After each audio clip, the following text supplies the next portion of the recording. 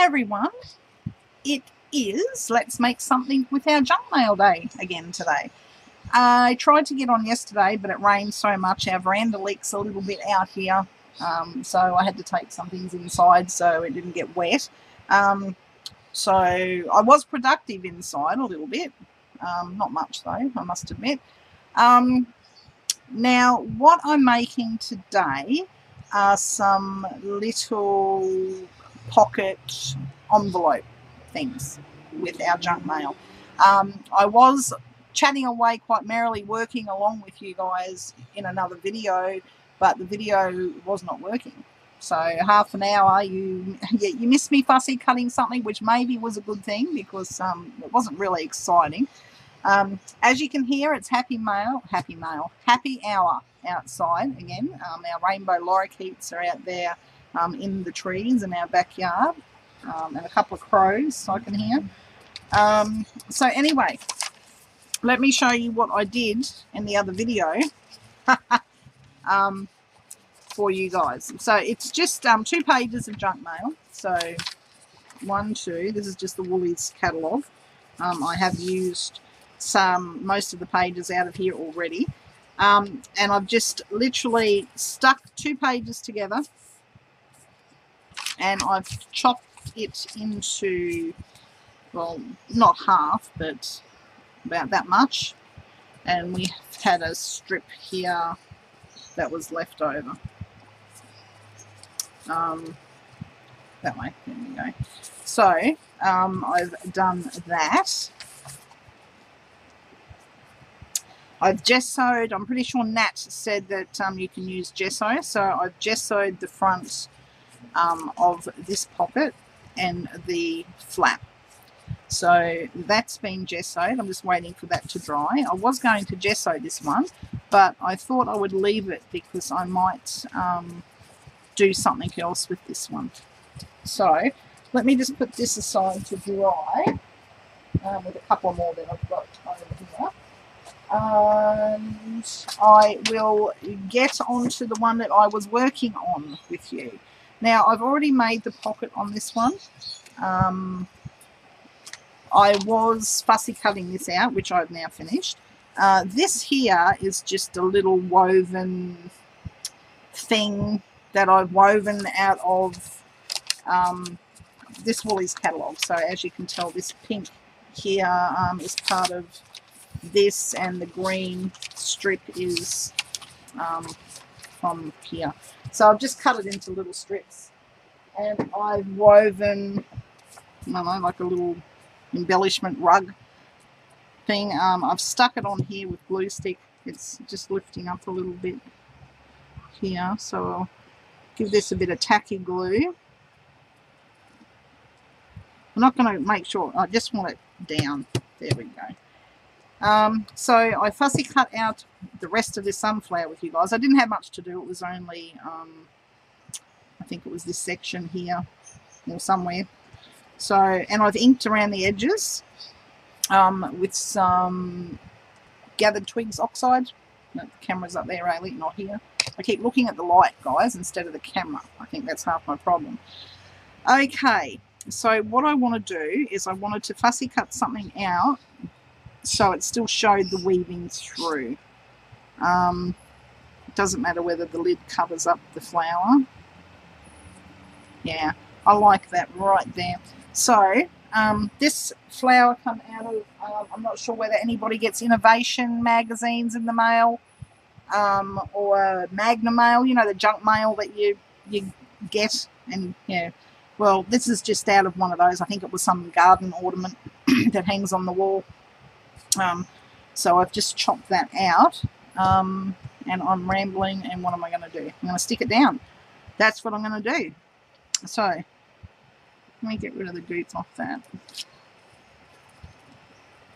Okay. So I'll just put a bit of tacky glue on here.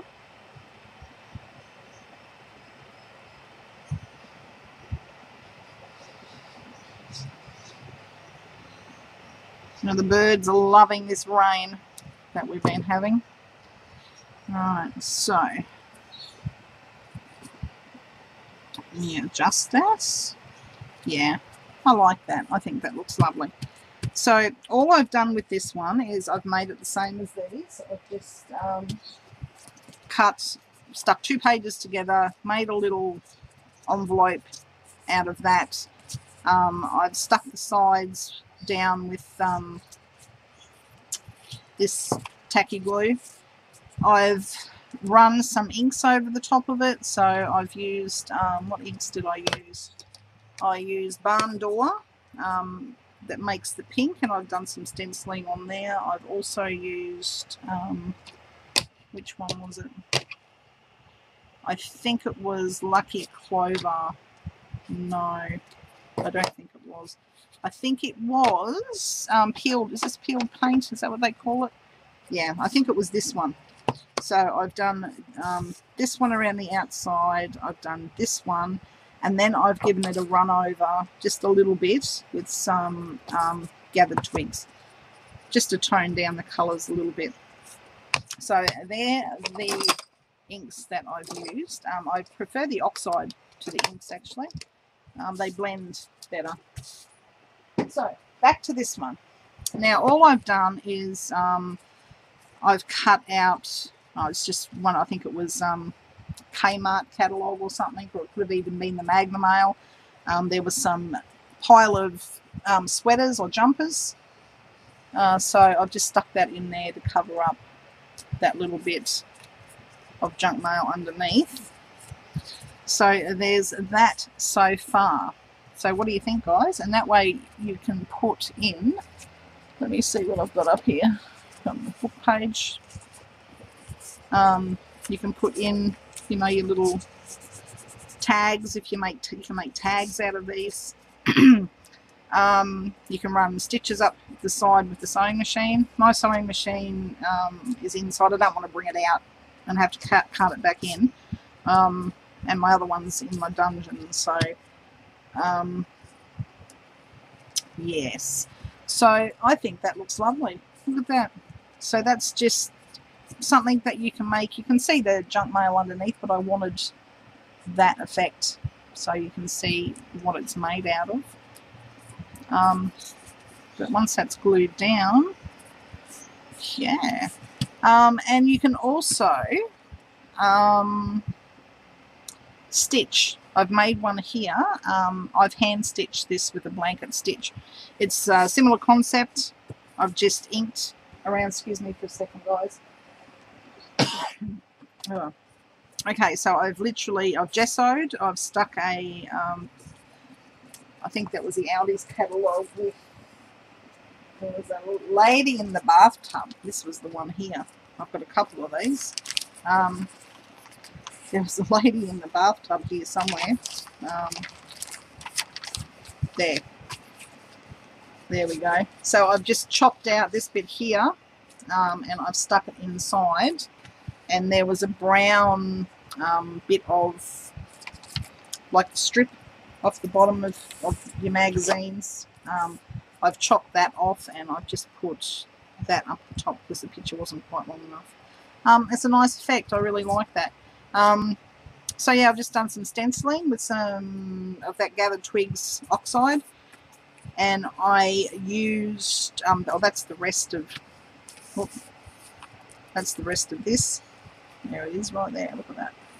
Um, and the outside of it, I have used this thread that I took off that shirt um, when I was pulling the beads off it. So I've just to use that um, to stitch this closed. So this one's my favourite. I really like this one. Um, love the effect. So, um, yeah. So I might do that to the outside of this one. Um, I might get some pink. I've got some scraps of, um, what do you call this, embroidery thread. So I'll see what I've got. I've got like a hot pink there. I might, um, I don't know. I'll go around the outside with some of that because I really like that effect. So anyway, guys, just a little something else that you can do um, with your junk mail. Um, I think they've turned out really lovely. Um, so let me see if this one's right. It's still a little bit wet, but you know what? There are no rules. So let's do it real quick like. So I'll just pull this one off. I need to get some more of these, these things here. And I'll put my blue on. Uh, now, like I said, um, the oxide, so I'll grab a bit of, um, this is broken china. I really like this colour. Um, I like it a lot, actually. So let's just give, yeah, it's a little bit wet still, but let's just go for it. Nope. I normally stick my sides down once I've done um, everything here. A bit on the top.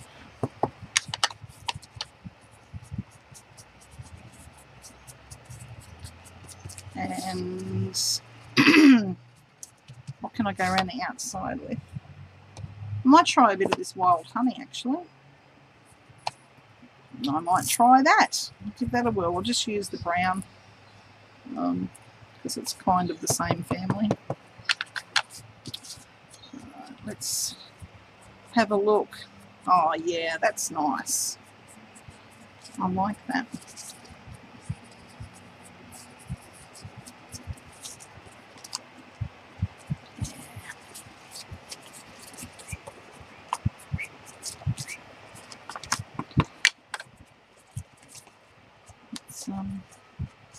Around here.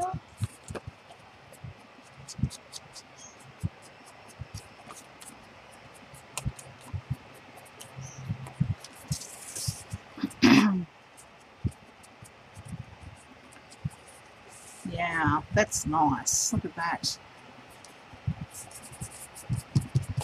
I'll get rid of this. Like I said, this will become beads at some point in its life. Um, what else can I use? I might just do my traditional go over it with a little bit of um, this just to tone down our blue a little bit. There we go. Around the outside. Beautiful. All right. Let's now figure out what we're going to do with the front. Um, you could always use fabric um, if I'm not sure whether you can use fabric, but you know, I've got like scraps and scraps of fabric, so you could put fabric on there. Um, sorry, Nat, I'm going to break the rules. Let's see what I've got.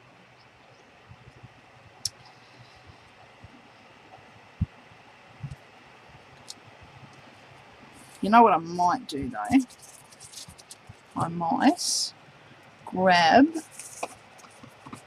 Um, I want to put something on here. I might just use um, mm, look at this. Is it going to be too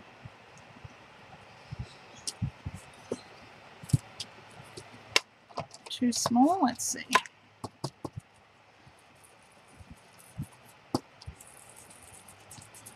add another layer of um, interest on here. Let's see how that looks. That was just gathered twigs oxide, guys. Oh, yeah, I like that. I like that. All right. So, good choice. Good choice. All right.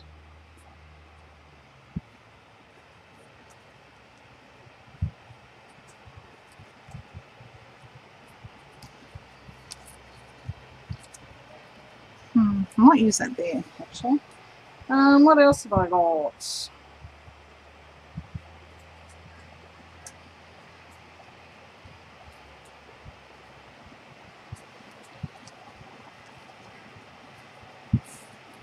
No. Oh, that's fun, isn't it? I might use that. That's a little bit fun. It's got our yellow in it. It's got blue.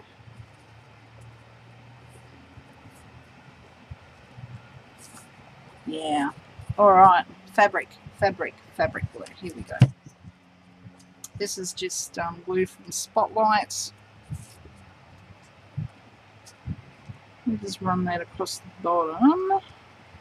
Like I said, this um, gesso is still a little bit wet, but that's okay.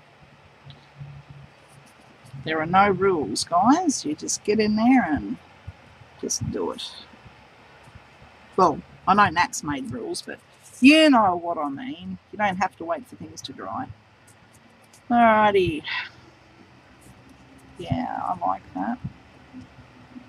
like that a lot. I'll just straighten that up a little bit. Alright, scissors.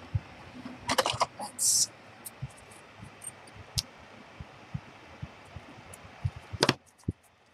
fray the edge of that. There we go.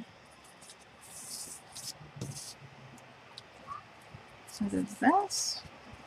Oops.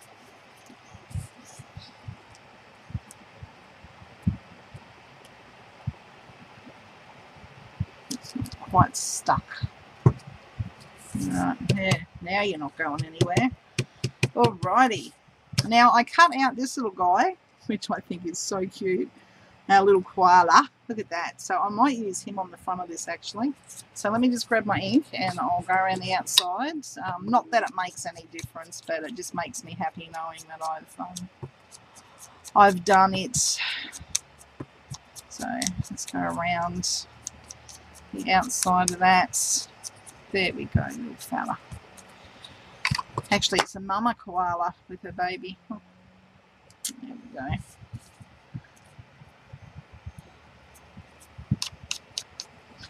And I might do, because we got our koala, I might do a couple of little leaves. So I'll just figure out where I want where I want it. Um, so if he, she sits there, so I probably want one here. And I'll turn it over. so I want them to go this way.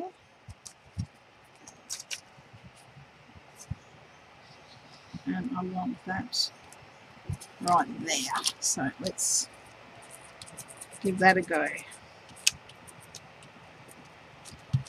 Okay, just adds that little bit of extra interest on there.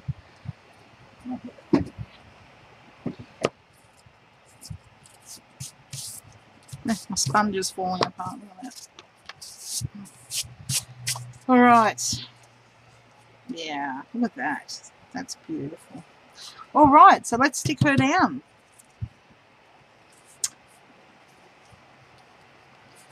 Uh, this is erupting, so I'll use this. I'll just use this glue up. Got to remember to put the lid down on that. All right.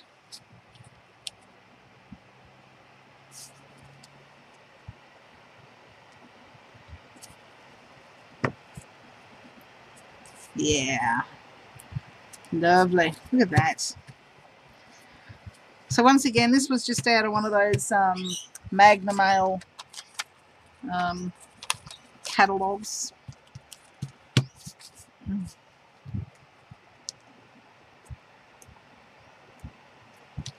can find some really nice pictures in um, magazines, actually not magazines, like junk mail. Sometimes the camping magazines have pictures of um, birds and wildlife in them. All right. Now, let's stick the sides down. A bit of glue.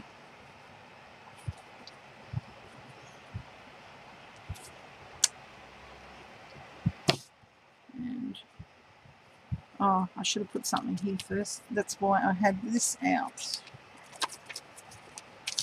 All right. Let me open that back up. Now I want that to go about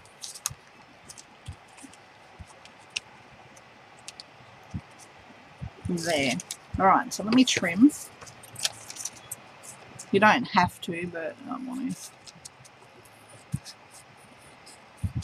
Some um, following a kind of straight line and I'll trim this side. And I think my son's home from school. It's that time of the afternoon.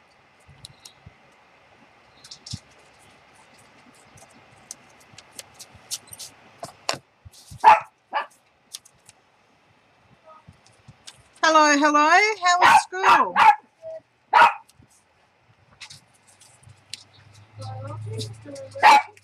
That's good.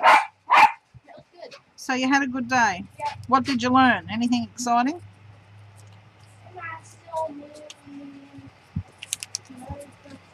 Okay.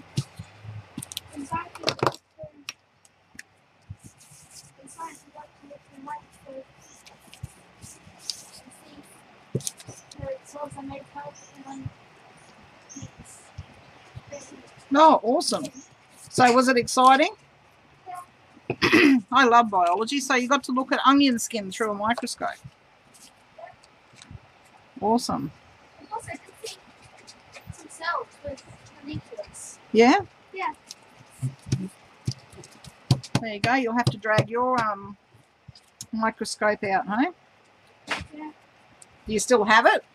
Yeah, I still do. You still do? Oh, well, there you go.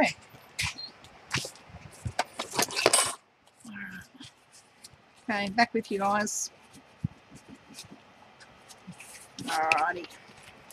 So let me give this a trim. Grab my dirty, yucky scissors here and cut this off and see how it looks. Now I tried to use fancy scissors. Oh, sorry, I'm off camera again. Along here, but it didn't work, so I'm just going to give that a trim. Um, mind you, I was trying to cut wet paper, so. Alright, and I might keep that bit. Yes, I know I'm bad, but um, I'll show you what for in a minute. Alright, so it looks like a bedspread, but um, or a doona cover,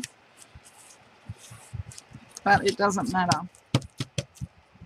Look at that. Now we can stick this down. Let me just give that a, a bit of a stick. We've come, come adrift. At that. Alright, back to the drawing board. Let's do this. A bit of that. Let's close this.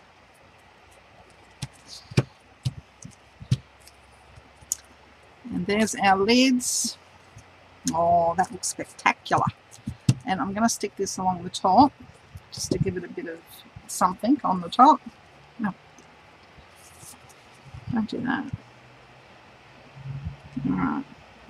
It's trying to pull the lid off with my teeth. Won't work on this one. uh, the things you guys don't see when I'm not, you know, what I do when I'm off camera. Haha. anyway, um, yeah, that might all do. So we'll put that there. I'm not going to, um, this one here, I made it come in a little bit. Uh, this one will be a square, and I might as well do this one a square because I've already stuck it down. So there we go. Just chop that off. Doesn't matter whether it's rough because I'm going to pull it all off anyway. Alright, chuck that back in my scrap box. Get rid of that. Alright.